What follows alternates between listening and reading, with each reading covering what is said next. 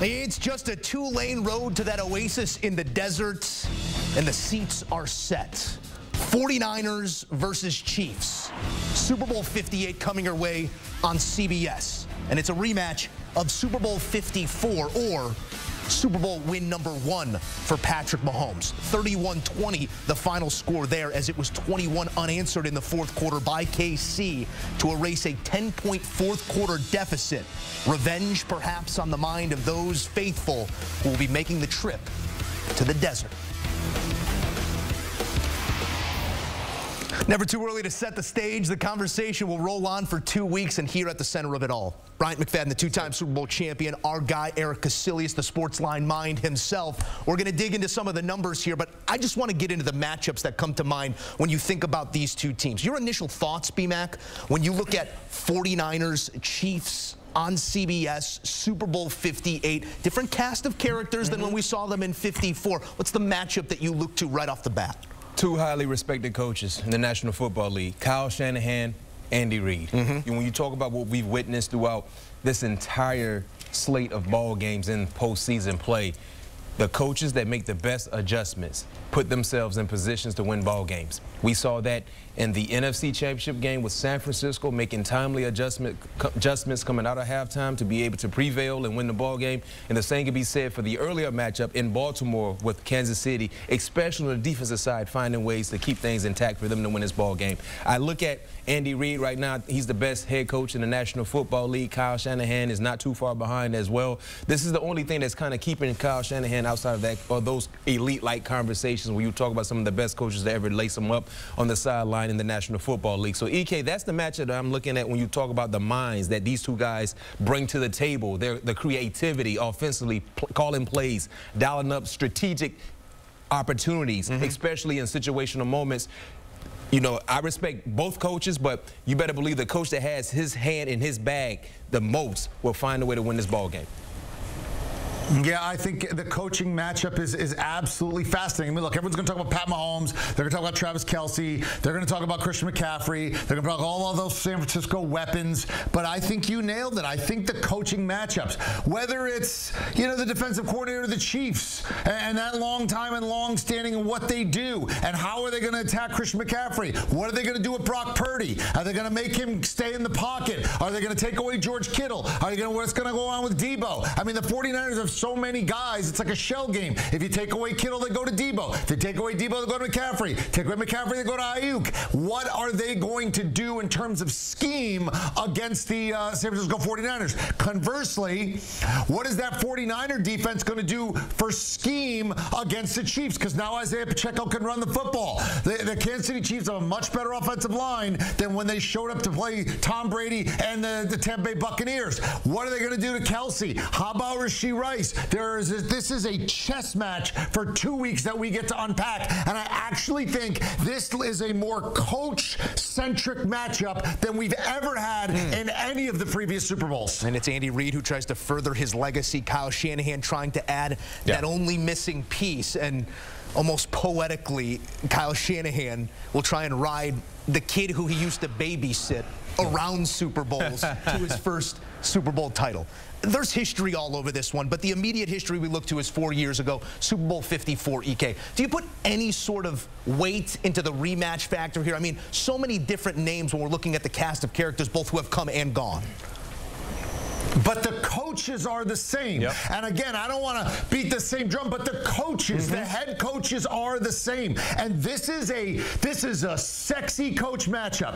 The wonder kid who's not so young anymore, who still hasn't won, who could have won in Atlanta when they were up 28 to 3, could have won against Andy Reid, didn't quite do it, and now gets an absolute gift from the Lions, which puts them back with another chance to close the deal against Andy Reid, who keeps just going higher higher and higher and higher on the all-time coaching list. And again, it's Steve Spagnuolo and that defense going up the 49er and how they scheme plays. This, again, I see as a coaching just nirvana and a sexy coaching matchup. And that's what I take from what happened four years ago. The coaches, the front and center coaches are still the same. For me, it's about what has, you know, Kyle Shanahan, what, what, what, what he's learned. Mm. Because you look at his two Super Bowl appearances as a coach, coordinator with Atlanta, Most recently, four years ago, head coach with the San Francisco 49ers.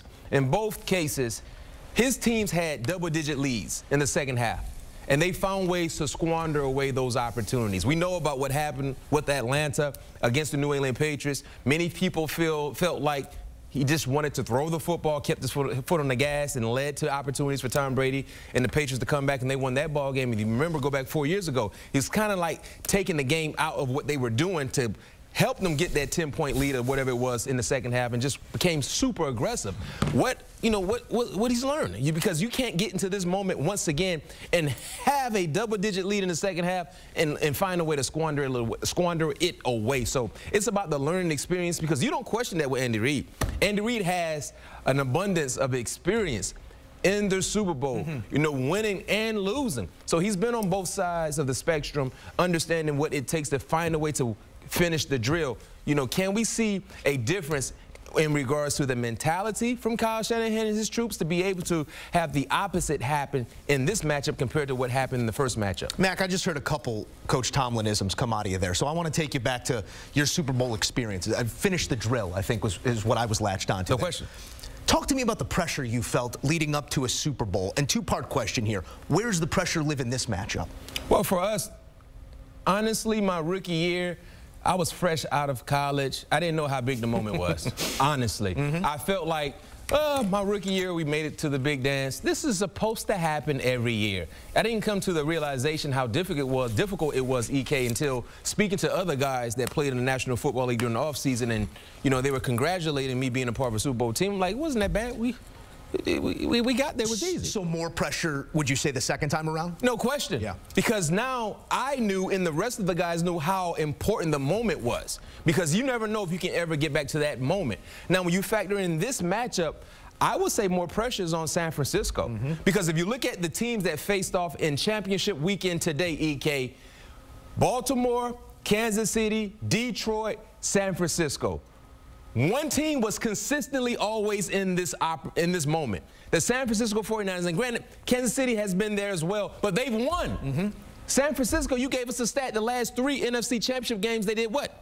They took L's. Lost the first, lost the last two and won this one. Yeah, lost the last 2 mm -hmm. Before today's matchup, the last two games in championship play, they lost. So now you finally got over that hurdle of winning to get back into the big game. Now can you do so and win it all and finish the drill? EK, I would say the consensus all of the football heads getting ready for the season, when you factor in everything that was returning for San Francisco, we all probably would say the most talented team in the NFL was the San Francisco 49ers, right? Mm -hmm. So when you factor in that pressure and then what happened the last time you faced off and played in the Super Bowl not being able to win, the pressure is on San Francisco for me, in my opinion.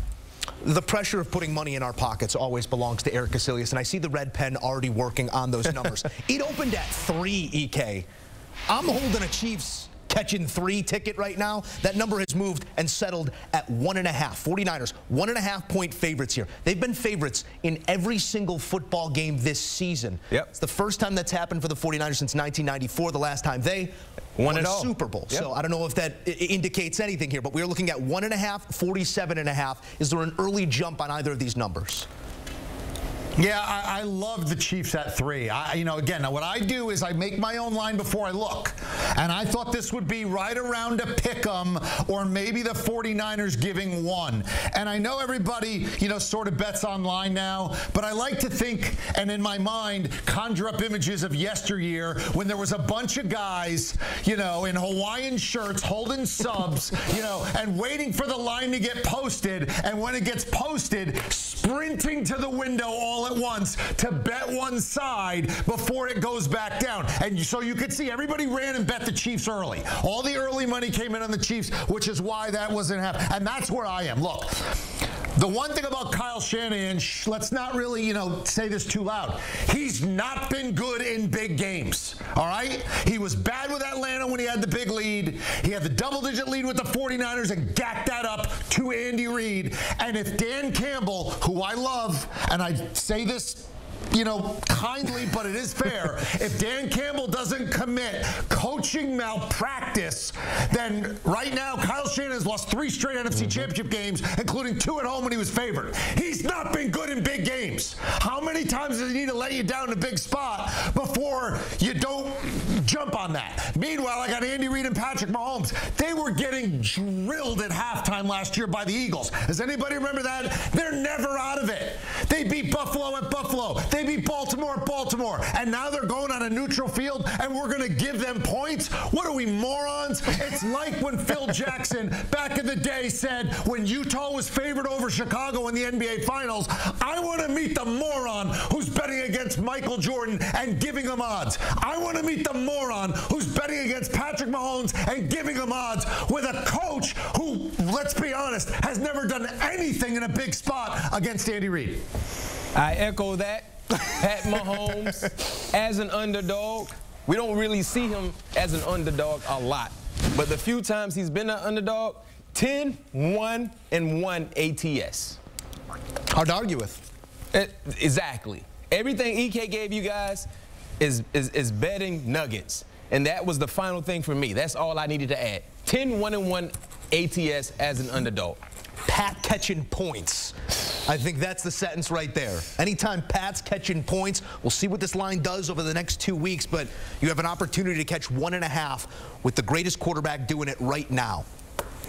Hard to argue with. No question. Bryant McFadden, Erik Kuselias, the talk is just starting as these two gentlemen will have you covered from Las Vegas beginning next Monday on CBS Sports HQ. Sprawling coverage across our host of networks from CBS to CBS Sports Network, CBS Sports HQ, streaming on Paramount Plus. There is only one team to be with. Not the Niners, not the Chiefs. It's the team on CBS. Join us in front of the Bellagio fountains all week long as we get you set for Super Bowl 58 on CBS.